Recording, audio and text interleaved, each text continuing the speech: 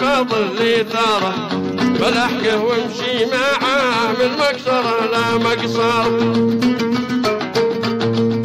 يقول أبو عبود بعد العرف ما ظل ثاره فلحقه وامشي معاه من مكسره لا مقصره يا دان يا دان. ومن معه صاحب يدل من لا يخسره